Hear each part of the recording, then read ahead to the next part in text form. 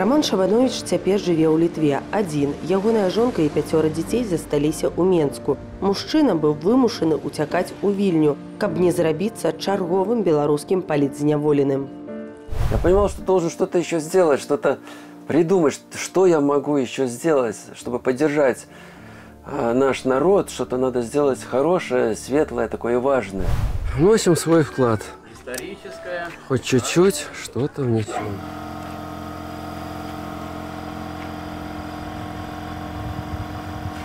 Годится? Да, отлично. Раман вырашыў ператварыць кодаўб свайго аўтамабіля ў вялікі бел-чырвона-белы сцяг. Тады ён і ўявіць не мог, што такая ініцыятыва падзеліць жыццё шматдзетнага бацькі на да і пасля. Мы поехали с дочкой в город сигналить, созывать людей, чтобы люди выходили, тоже подключались к протестующим. Ну, потом, когда мы рассчитывали уже вернуться, поставить машину в гараж, с дочкой пойти на стелу, потому что время было уже 14 почти часов, пора было идти. Нас остановили напротив велозавода машина ГАИ. Давайте выходите с машины. Нет, с машины я не буду выходить, вы пошутили. Зачем? Все открыто, там же не закрыто. Давайте выходите. Давайте. Несмотря на то, что перед этим я им отдал все документы, я им сказал, составляйте любые протоколы. Я даже не отказываюсь. Я подпишу, если что нарушил, составляйте, я подпишу. Нет, они требовали покинуть машину, выйти. Угрожали мне, угрожали дочке. Я понимал, что если выйти, то можно и домой не вернуться. Закончилась э, эта перепалка с ними следующая. К нам подошла огромная колонна протестующих. Мы их поддерживали возле стадиона тракторного завода, а задержали меня возле велозавода. И пока милиция над нами издевалась, колонна догнала нашу машину. И люди сказали, что мы вас не бросим. Мы сейчас создадим живой коридор. Вы с дочкой выйдете, колонна захлопнется, и вы уйдете с нами на стелу. Машину придется твою кинуть здесь. Я говорю, хорошо, так мы и сделали. Але гэта гісторыя атрымала працяг. Мы хутка да яе вернемся, а пакуль дазнаемся, як раман жыве цяпер. Замест менскай кватэры гостел у вільні. Готовлю я каждый день. До этого, конечно, когда дома, у нас чаще занималась этим жена. Семья большая, и она успевала на всех приготовить, в том числе и на меня.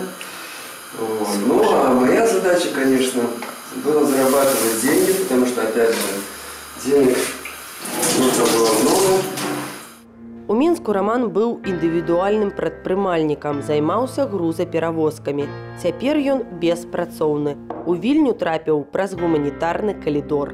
Пять человек иждивенцев на мне. Я надеюсь тут просто как-то устроиться на работу, может мне поможет какая-то наша диаспора или еще кто-то, чтобы поддерживать свою семью и плюс и самому как-то жить. А если бы был я в нашей тюрьме, в тюрьме у Лукашенки, там даже сам себя не обеспечишь, там еще надо, чтобы тебе кто-то что-то помогал.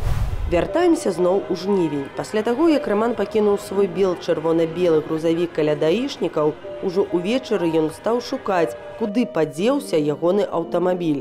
Праз дзень неабыякавыя беларусы заўважылі яго на адной з прыватных стаянак і паведамілі раману. Попросили юристы, чтобы раз меня никто не ищет и машину не отдает, и никак не признается, где она, я сам подъехал, снял машину на видео, постарался у охранника снять документ, на основании которого она стоит. Значит, я все это быстренько сделал. У охранника снял документ, ну, знал, что сейчас что-то случится.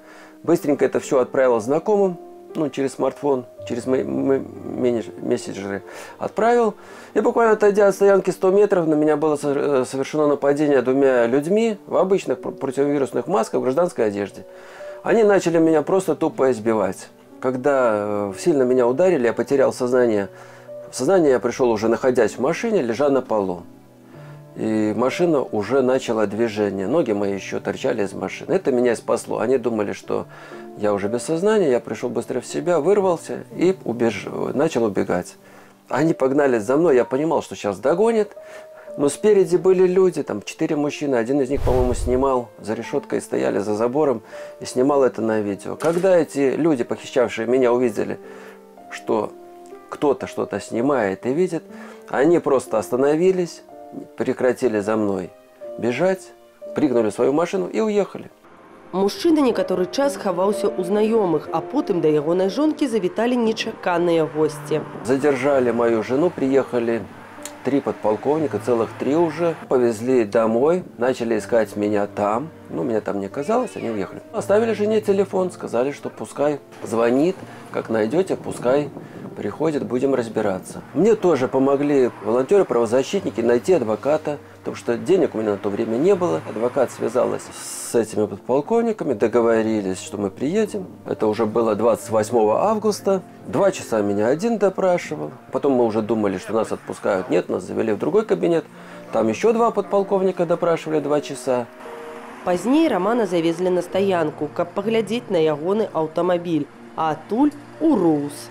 Уговаривали капитана или майора из ГАИ написать неповиновение полтора часа. Он отказывался, в результате он плюнул, уехал. И после того, как эта девочка написала там участковая, что я там оказывал сопротивление и так далее, Рамана арыштавалі на 8 сотняў, а калі мужчына вярнуўся дадому, то даведаўся, што на яго завялі крымінальную справу паводле 364 артыкулу гвалт або пагроза ўжывання гвалту ў дачыненні супрацоўніка органаў унутраных справаў. Раман кажа, што нічога падобнага не здзяйсняў, але далей заставацца ў Беларусі ўжо было небяспечна. Шью, конечно, я не очень. На этот флаг у меня ушло практически целый день, то есть два раза по полдня я его шил. Я его привез с Беларуси, он тоже здесь со мной всегда. Это мой родной флаг, мой символ, который меня поддерживает в трудную минуту. Он всегда со мной. Раман спадзяецца, што цяжкія моманты ў ягоным жыцці хутка скончацца, і ён зможа абняць сваю вялікую сям'ю, па якой, вядома, моцна сумуе.